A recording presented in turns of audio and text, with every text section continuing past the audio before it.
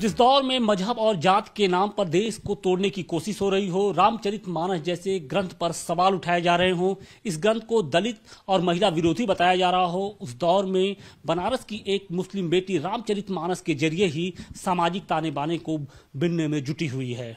जी हाँ नाजनीन अंसारी हैं और नाजनीन अंसारी पिछले कुछ दिनों से लगातार ऐसे ही रामचरित मानस यानी जो तुलसीदास के द्वारा रचित है, उस ग्रंथ का अब उर्दू में अनुवाद कर रही हैं और उनकी कोशिश यही है है कि न सिर्फ़ हिंदू, बल्कि मुस्लिम समुदाय के जो लोग हैं, वो भी इस ग्रंथ को पढ़ें हमारे साथ नाजिन भी हैं। हम आपको दिखाने की कोशिश कर रहे हैं कि किस तरीके से बेहद सादगी के साथ वो राम की शरण में हैं और यहाँ पर बैठकर वो कुछ ऐसे ही उर्दू में जो रामचरित मानस है, उसका अनुवाद करती हैं। और पिछले कुछ दिनों से लगातार जो ये क्रम है, वो जारी है।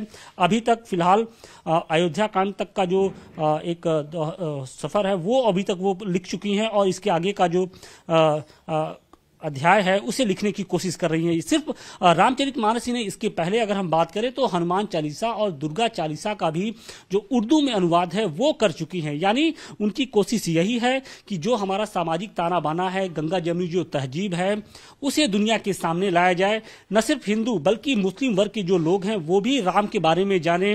राम और रामचरित मानस के ज़रिए जो एक संदेश देने की कोशिश की गई है उसको जाने और समझे। हमारे साथ नाजनी नाजनीन हैं, हम उनसे भी बात करने की कोशिश कर रहे हैं कि नाजनीन, ये बताइए कि ये ज़रूरत क्यों पड़ गई कि आप उर्दू में रामचरित मानस का अनुवाद देखिए, आज जिस तरह से रामचरित मानस जो दुनिया का सबसे पवित्रतम ग्रंथ है, उसको लेकर के टिप्पणी चल रही है, कर रहे हैं कुछ राजनेता, छद्म राजनीति के लिए रामचरित मानस का गलत उपयोग कर रहे हैं।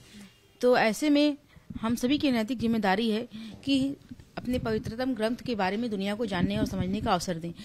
बहुत सारी मुस्लिम बहनें ऐसी होती हैं जो उर्दू और अरबी पढ़ना जानती हैं, जो हिंदी पढ़ना नहीं जानती।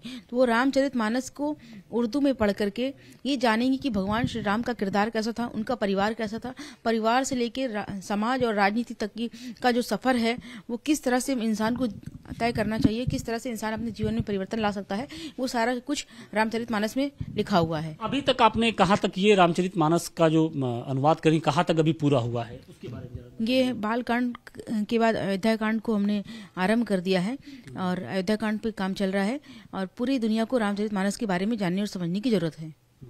किस तरीके से एक जो सामाजिक ताने बाने की बात कही जाती है इस ग्रंथ के ज़रिए आप उसको और समृद्ध और मज़बूत करने की कोशिश हो रही है? देखिए, रामचरित मानस जो है वो दुनिया का सबसे पवित्रतम ग्रंथ है, क्योंकि वहाँ पर परिवार से लेकर के समाज और राजनीति की कैसे चलाई जाए, उन सब के बारे में दिया हुआ है। आज अगर पूरी दुनिया में किसी राज्य की कल्पना की जाती, किसी शासन की कल्पना की जाती, वो राम राज्य की कल्पना की जाती है। और पूरी दुनिया जानती है कि राम राज्य में पूरी जनता किस तरह से सुखी थी, किस तरह से लोग हर एक वर्ग व्यक्ति को लेकर के चलने वाला समाज था हमारा राम राज्य। इसलिए राम राज्य की कल्पना के साथ ही हमारी राजनीति पूरी होती है। राजनीति आज के समय में जो गंदी लोग करते चले आ रहे हैं जो रामचरित मानस को लेकर के अनर्गल टिप्पणियाँ करते चले आ रहे हैं ऐसे लोगों को ज़रूरत है रामचरित मानस को पढ़ने की। जो स्वामी प्रसाद मौर्य हैं वो कह रहे हैं कि जो रामचरित मानस की जो कुछ चौपाई है वो दलित विरोधी है महिला विरोधी है उसमें महिलाओं का अपमान किया गया है दलितों का अपमान किया गया है। लिहाजा जो वो चौपाई थी उसको हटा दिया जाए या फिर उस पर बैन लगाया जाए।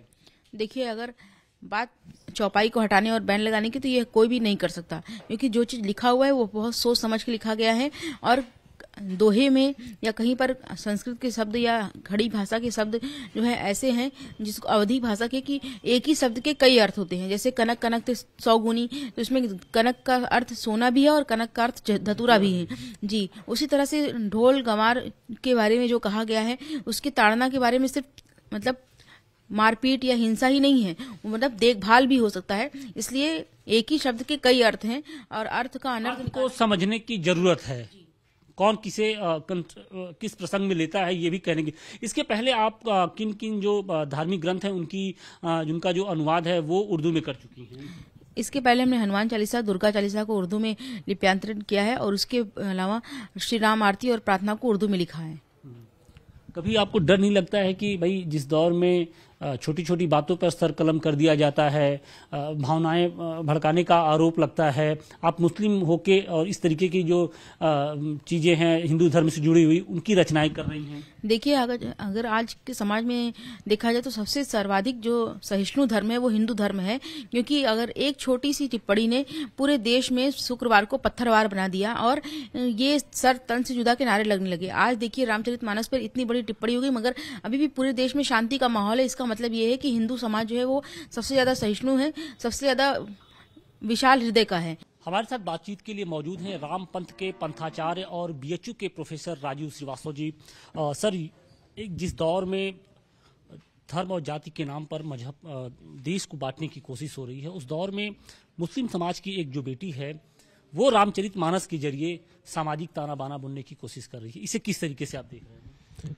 देखिए मुस्लिम समाज की बेटी नाजनीन अंसारी, रामचरित मानस का उर्दू में अनुवाद करके सही अर्थ लोगों तक पहुँचाने का प्रयास कर रही है। क्योंकि जो लोग भी रामचरित मानस पर सवाल खड़ा कर रहे हैं, वो गलत अर्थ बता करके कर रहे हैं।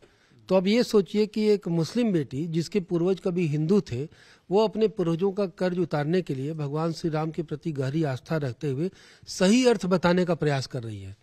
जैसे अलंकारिक भाषाओं में कई बार प्रयोग होता है कनक कनकते सौगुनी मादकता अधिकाय या खाए बौराय नर, वा पाए बौराय इसमें कनक का दो अर्थ है।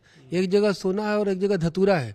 अगर इसको दे दिया जाए तो तो कहेगा कि सोना ही पाके बौरा रहा और सोना खा के भी बौरा तो ज़बरदस्ती सोना खिलाया जा रहा है। तो उसी तरह से रामचरित मानस में जिन दोहों को लिखा गया, वो अवधि भाषा में लिखा गया है। तो अवधि भाषा में उसका भावार्थ और संदर्भ समझने की ज़रूरत होती है।